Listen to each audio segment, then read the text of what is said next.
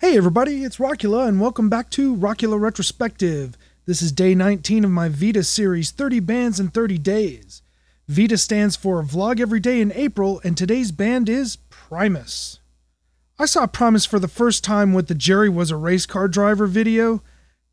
Up until then, all I knew about Primus is that my friends lumped them in with the growing funk metal movement of the early 90s. I kinda understood where they got the idea.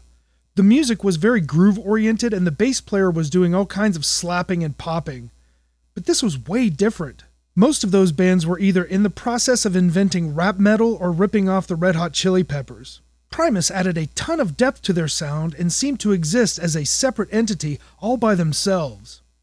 Sailing the seas of cheese is part of my musical DNA. I find myself stealing drum riffs all the time from this band, and it makes the list of play along albums where I would put on headphones and attempt to play the songs on my drums. The bass is what is most unusual about this band. It is not the funk slap stuff like Flea does, but it is definitely a lead instrument.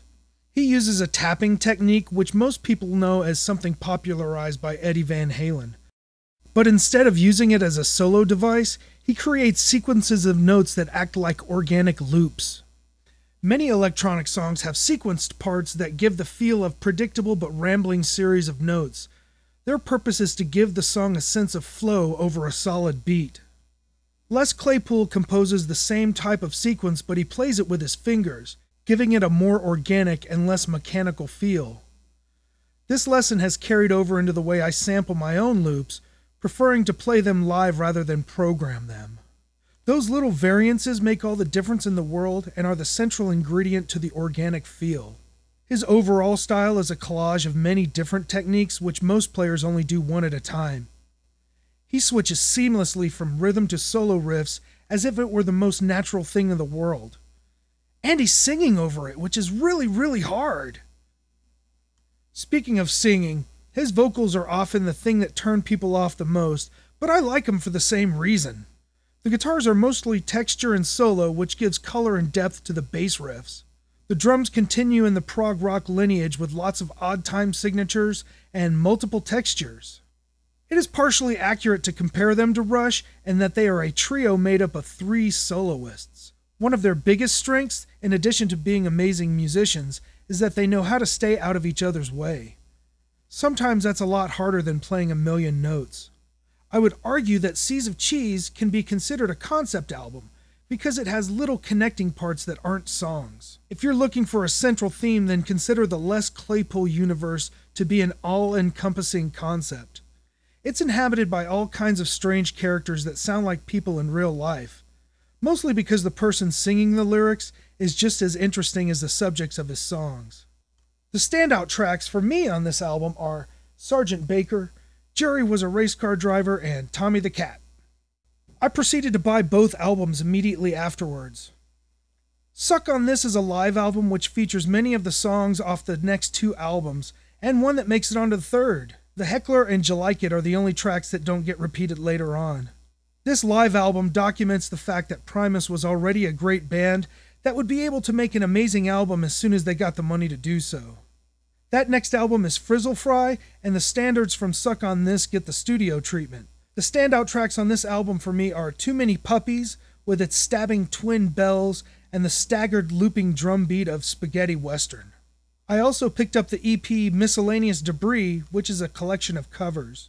There are a couple of songs which show off their darker side, like Intruder and Sinister Exaggerator.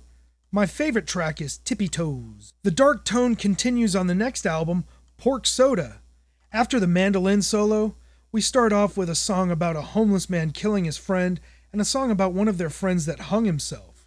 Even the goofy songs seem to have a dark feel. I'm listening to the album as I write this part, and I realize that the production of the album adds to the dark tone. I wonder if that was intentional. DMV is the goofy single, but I love Old Diamondback Sturgeon the most. Tales from the Punch Bowl is next, and it seems to be a mixture of the sounds from the two previous albums. There are upbeat, goofy songs mixed with some dark ones. Mrs. Blaileen particularly resonated with me. There were many times I was made to feel two feet small at the hands of a critical teacher. Wynona's Big Brown Beaver occupies the goofy hit single spot. I'd have to say that my other favorites are Southbound Pachyderm, Over the Electric Grapevine, and De Anza Jig. I don't know why I lost track of Primus after that. It seems that I consume things in cycles. But you can still count Primus as one of my main influences. Lastly, I would like to mention someone within the Primus organization that has always been very important to me. Tim Solyan has worked for Primus over the years and has let me take small glimpses into their world. He also holds the distinction of being one of the most influential drummers on this list. You will see him when I get to Victim's Family later on down the list. What does Primus mean to you? I'd like to hear your thoughts and observations in the comments below. Also, I would greatly appreciate it if you liked, subscribed, and shared. Thanks for checking out day 19 of my VEDA series 30 Bands in 30 Days. Tomorrow's band? Radiohead. I'm Rockula, and this is Rockula Retrospective.